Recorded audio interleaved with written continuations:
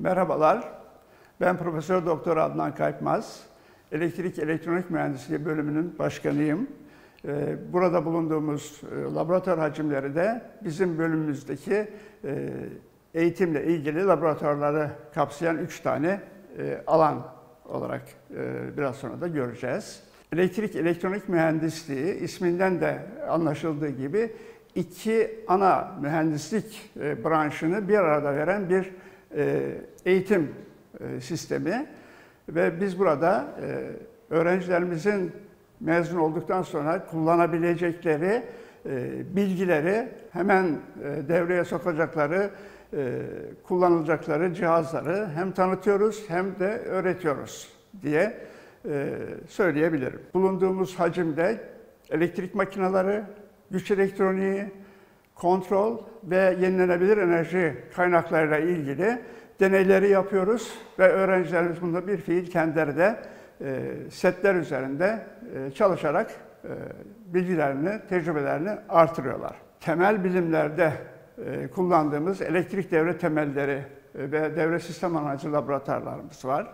Bir de bilgisayar ve gömülü sistemlerle ilgili diğer bir laboratuvar hacmimiz var. Bunları da öğrencilerimize bu bilgileri de aktarıyoruz. Beykent Üniversitesi'de 11. yılımı doldurdum. Eğitimde de 50. seneyi geçmiş bir tecrübeli hocayım.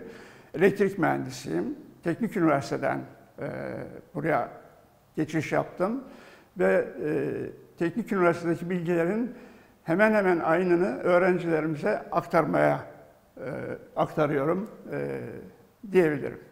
Programımızın kapsamında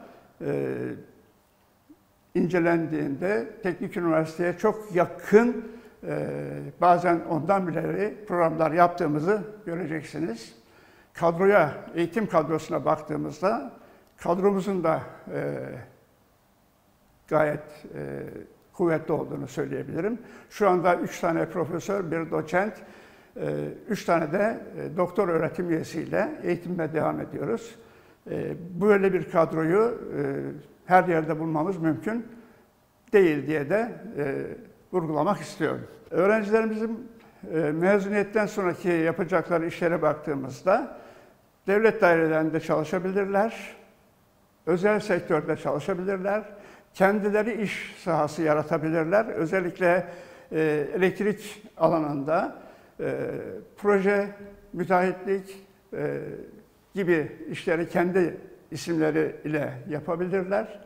Bunun dışında enerji sektörü çok cazip bir durumda. Enerji sektöründe de çalışma imkanları olacaktır. Elektronikçiler için söyleyeceğim şey bir ARGE ağırlıklı yerlerde devlet tasarımı, bir kontrol sisteminin tasarımını yapacak yetenekleri burada kazanıyorlar. Yazılım yapma imkanlarını gömülü sistemler üzerinde öğreniyorlar.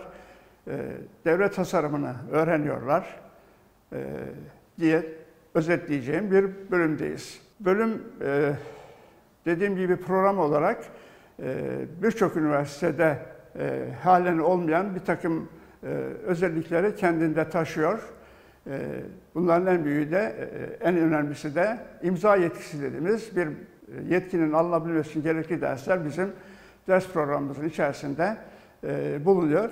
Öğrencilerimiz buradan mezun olduklarında bu imza yetkisini doğrudan doğruya sahip olmuş oluyorlar. Elektrik Mühendisleri Odası'nın verdiği bir yetki olarak karşımıza çıkan bir olay da budur. Verdiğimiz eğitim, uluslararası eğitimden hiçbir farkı yok. Uluslararası Erasmus çalışmalarımızda da gördüğümüz gibi bizim derslerimizin eşdeğerleri yabancı üniversitelerde de var. Dolayısıyla onları eşleştirerek öğrencilerimizi Erasmus'a gönderme şansına sahip oluyoruz. Oradaki dersleri buradakilere eşdeğer sayma şansımız var. Böyle bir uluslararası eğitimin içerisindeyiz diyebilirim. Bu güzel eğitim çatısı altında aday öğrencilerimizi görmek istediğimi belirtmek istiyorum. Kampüsümüzün, yerleşkemizin konumu ulaşım açısından ve şehrin e, güzelliklerine yakın olması açısından da tercih edilmelidir diye düşünüyorum. Umarım sizlere de bu çatı altında ders vermek e, bana da kısmet olur. Hoş geldiniz diyorum şimdiden.